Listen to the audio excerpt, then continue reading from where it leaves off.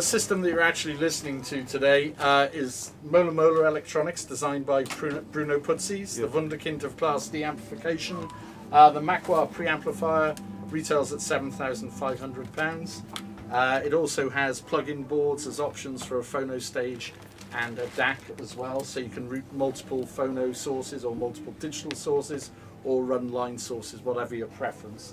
Uh, the power amps, the uh, Kaluga power amps down here, monoblocks, they're 400 watts class D and uh, retail at 5,000 pounds. Mm, each, so 10,000 a pair, so pre-power 17.5. The loudspeakers we're listening to are Laurence Dickie's design, uh, Vivid Audio GIYA 3s, uh, and uh, these are sort of his ultimate expression of the technologies he developed when he designed the Nautilus range for Bowers and Wilkins back in the day. And the G3s retail at £28,000 a pair.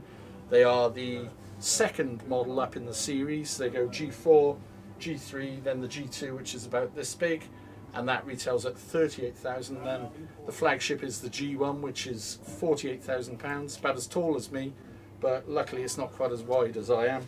Um, but they sound even better than these do. But obviously, in a room of this size, the G3 is just about the, the right product for the room.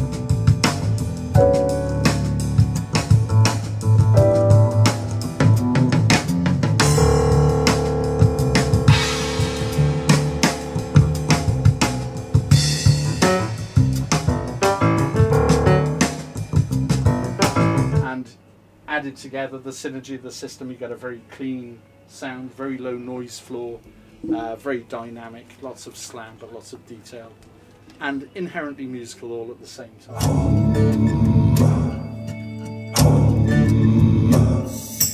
One had his Juanita and a baby boy they named Miguel. On the other side of the line it's heaven, on this side is a living hell. Uh, the sources that we're using, we've we've deliberately been a little bit controversial. Uh, the the CD transport we're hearing is by Micromega, and it was uh, shown for the first time at a hi-fi show in about 1993, I think. Um, so it's actually one of the staff's own CD transport.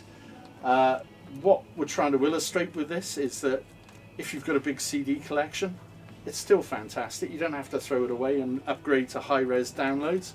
As long as you extract all of the information from the recording and then process it correctly, which we believe we do in the, the DAC built into the preamp, then you can get an absolutely amazing performance from 16-bit Redbook standard CDs.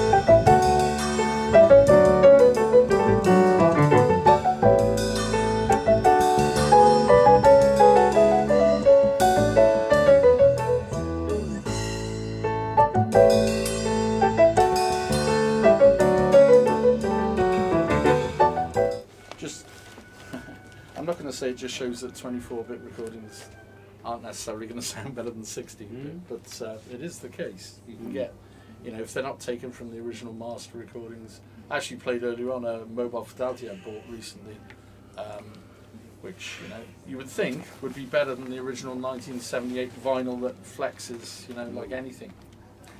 no, it's so been so messed with digitally that it sounds awful. But this is um, Christine and the Queens.